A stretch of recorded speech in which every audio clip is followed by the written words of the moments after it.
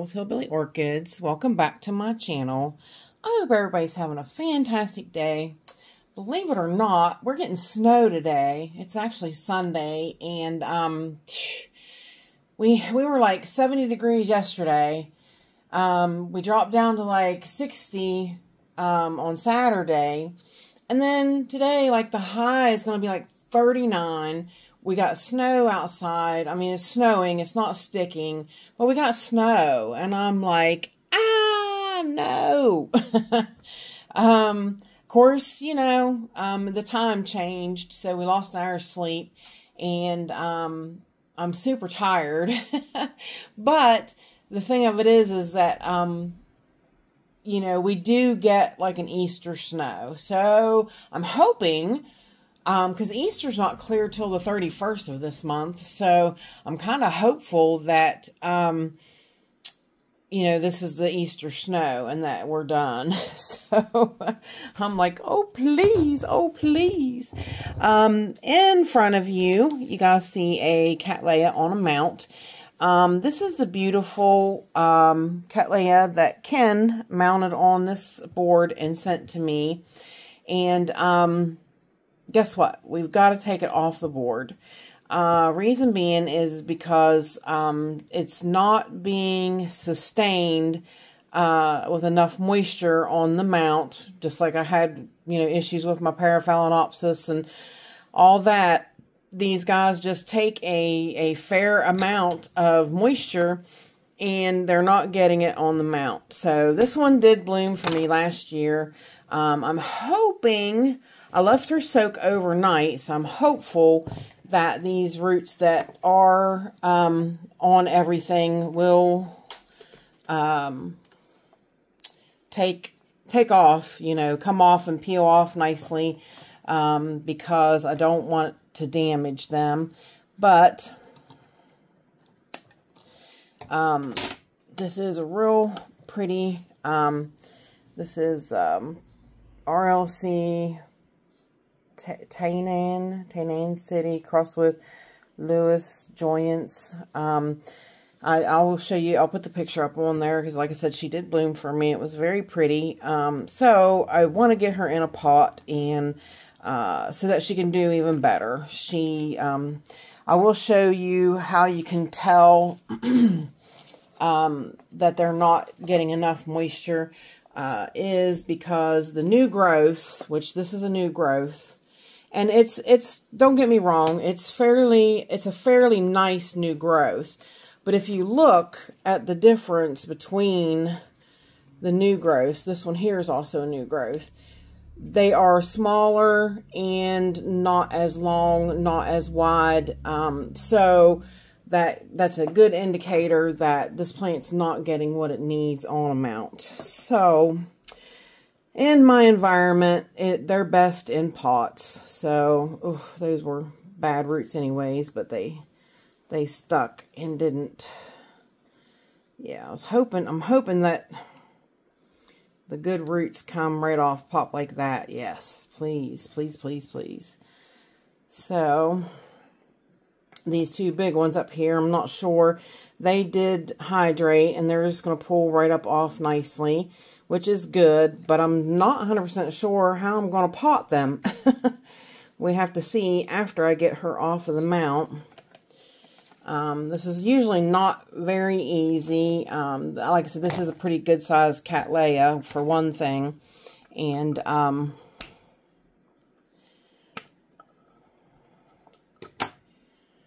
so I don't want to, um, yeah, I want to try to not do that much damage to her because I think uh, I actually think her bloom cycle should be coming up. So those might bloom, but they might not be as nice as they were the following year because of her not getting enough moisture and whatnot. So, yeah, let's see how this goes. Oops, that one broke. That one, I mean, that one was really snappy. Let's see if she will up off here. Not too bad. That wasn't too bad. Not too bad at all. Good, good, good, good. Um, yeah, I'm, I'm learning real quick that, um, you know, and I water my mounts daily. So, you know, it's, it's kind of, kind of frustrating, um, you know, unless, and I can't always, you know, they're, they're up there where I can't always reach them. So it's not, um, feasible for me to always get up there, get them down, soak them. Um, that just, you know, can't happen. So it has to work out somehow or another that I can get them on a mount or get them, you know, uh, wet enough, but it, it really wasn't working. So this way here in a pot, she will be good to go then. We won't have any issues with that. So, let's remove some of this moss, which we are going to put some moss in her pot.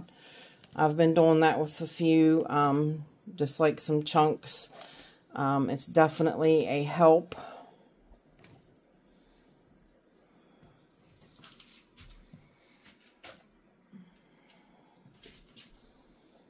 All right. She's definitely a climber, that, but that's typical. That, that is typical of Cattleyas, so that's nothing new, unusual. Um, as you can see from behind, she's definitely, she's got some good roots still.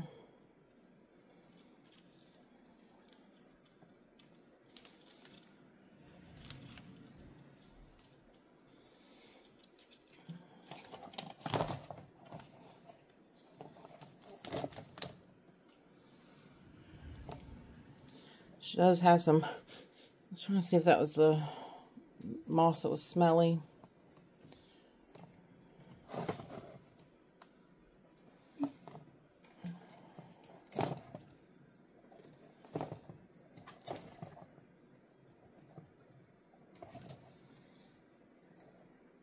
Yeah, she was definitely growing. Um, that was another issue that was having with her was she was growing her new growths out on, you know, towards the mount. Um, so, um, yeah, she was kind of running out of space as well. So, this should make things a lot different now. She should be able to um, carry on and grow forward and not be so, um, you know, so smashed to a board and have nowhere to go. Um, but also, um, now she will she will have the correct amount of moisture and everything. And I'm going to try not to mess with too much. I want to leave some of the moss. Um, like I said you know it is it is helping. It is beneficial for you know giving them a little bit of extra moisture that they need. So my grow space seems to be really drying a lot better than it has in the past. So um, but like I said, her bloom time's coming up, so I don't want to mess with her too awful much. So I don't want to take off too many roots. I don't want to, um, I don't want to mess with too much. Because if she still has an opportunity to bloom, she will do that. She will bloom for me, and I hope, I'd like to see her bloom again. Um, Michael didn't like it, but I, I did. I didn't, I thought she was very pretty, very pretty. And I bet down here now I'll be able to smell her because I just almost guaranteed that she smelled phenomenal. So...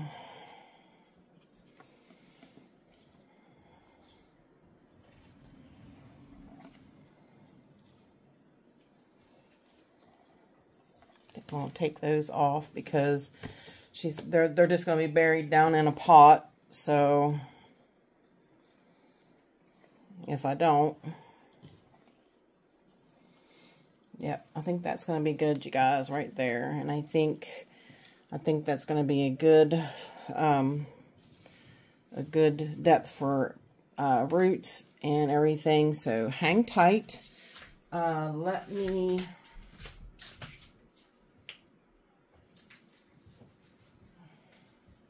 wipe my hands off. And uh, let me see about what size pot I'm going to put her in. And I will be right back. Hey, y'all. My channel is sponsored by the Orchid Supply Store. It is literally your one-stop shop for anything and everything you could possibly need orchid related. They have pots, they have media, they even sell orchids. Use my name, code Hillbilly, in the code section for a 12% viewers discount. They also do free shipping in the U.S. So go check them out, y'all. Right, we are back, and I do believe I'm going to put her in this, um, I think this is a six-inch pot, I do believe. These are the ones that don't really say. They're green thumb. Uh, they do have a lot of holes in them uh, which I do. I am fearful of the roots, you know, growing out on these, so it does make me nervous. So what I'm going to do, and this, you know, this root might not make it, but I mean, it does have a good growing tip and everything. So I'm going to try to twist, twist her around in there to where she has them in the pot along with the rest of these roots back here. These ones are the dead ones that want them gone. That's got a dead piece. I want it gone. Alright, so now this is how she should set right in here, just like this. And I am going to put her towards the back side of the pot because um, like I said, she is growing this direction. So her next new growth will even come out uh, here and here probably because she's got she's got two uh, different variations of growth or, or, you know two areas where she's growing from. So this is a new growth and this is a new growth. So we will go along with that. Now we're to add a little bit of the new moss.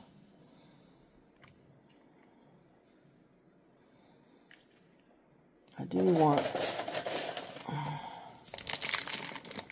that on the bottom because, sorry, I don't mean to shake you guys.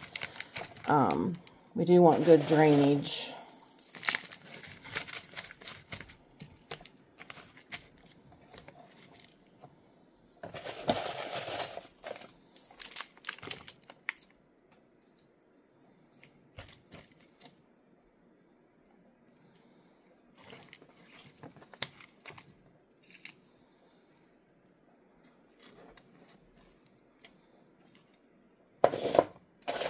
And the um, the media we're using is Orchid Supply Store media. We are using uh, the big chunk charcoal, the uh, large uh, popcorn perlite, and um, the the coconut husk. Um, I I purchased separately.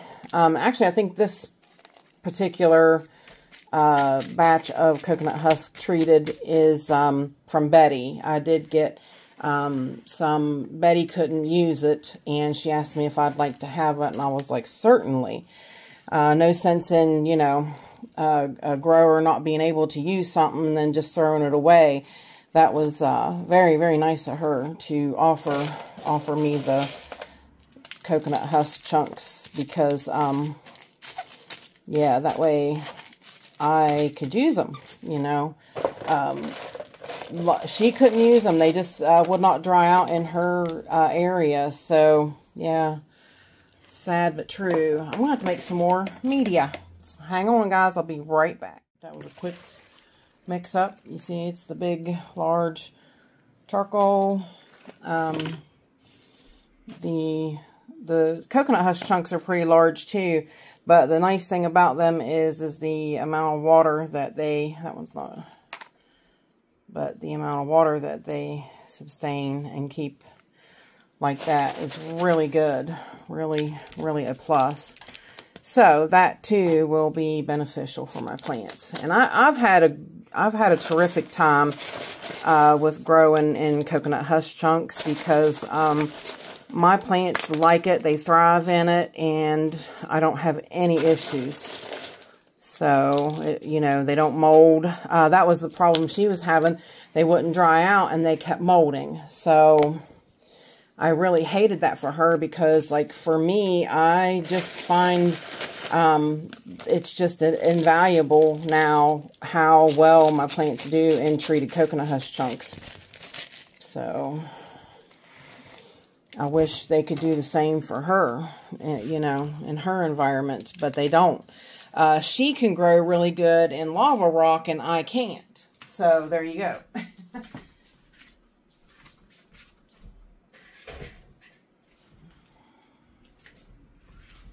me and her was talking and she's she's having phenomenal um,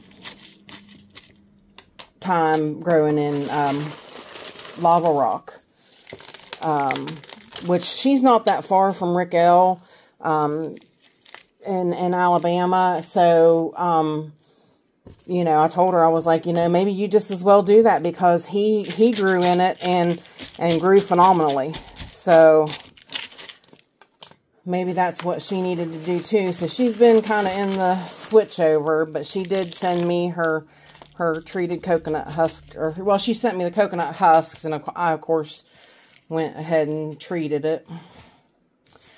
So there we go. That should do it, you guys.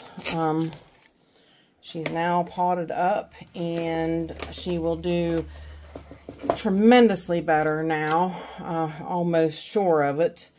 Uh, like I said, I hope that I didn't, um, I tried not to, to mess with her too much so that uh, maybe we'll get buds out of these guys. Maybe they, since they're getting more moisture and nutrients now, they should kind of take off and do better. Sometimes when you, um, when you take them off a mount like that and everything, you do set them back. I did break a few roots and that kind of thing. So I'm hoping that uh, that didn't really happen too much. And I mean, we'll see. We'll get to see the progress of her now as we go along.